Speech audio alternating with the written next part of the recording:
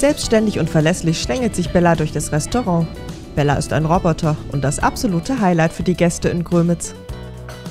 Wir haben es im Fernsehen gesehen. Erst wollte ich es nicht glauben, aber nun ist es so. Da war die Corona-Zeit. Ja, man war halt zu Hause, man hatte viel Zeit, man hat eine Reportage gesehen und da habe ich halt eben Bella das erste Mal in Action gesehen in, aus China. Und äh, in China ist es ja schon ein bisschen äh, länger und weiter verbreitet. Und da dachte ich mir, das muss ich auch haben. Ja. Aber Servierroboter Bella ist mehr als nur Entertainment für die Gäste. Sie ist auch eine echte Entlastung fürs Personal. Es ist natürlich ein schönes Mittel, wenn man es überlegt, äh, um ja, die Personalprobleme einfach auch anzusprechen. Und äh, wir haben auch personelle Probleme und äh, mussten uns auch irgendwie Lösungen herbeiführen.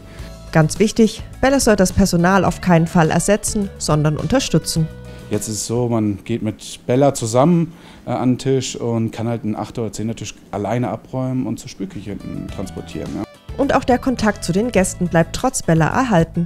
Besser, nun hat die Bedienung sogar noch mehr Zeit für Beratung und ein Schwätzchen.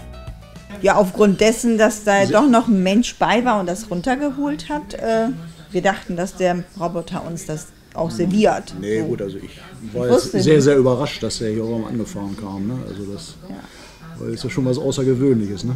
Aber sehr rückengerecht, sage ich mal. Ne? Dieses Personal ist, hat eine Entlastung. Bella wird zumindest nie krank und Urlaub braucht sie auch keinen. Durch ihre Sensorik kann sie Hindernisse gut erkennen nur ab und an fällt dann doch das ein oder andere Glas um, wenn die Fliehkräfte nicht richtig eingeschätzt werden. Aber das kann man Bella kaum übel nehmen. Gerade im Restaurantbereich haben wir es sehr, sehr oft, äh, dass halt die Gäste sagen, wo sind Bella? Oder noch nicht mal Gäste, die jetzt hier drin sitzen, sondern auch viele Kinder stehen auch mit den Eltern vor der Tür, fragen, dürfen wir Bella mal streicheln? Und das gefällt Bella offensichtlich gut.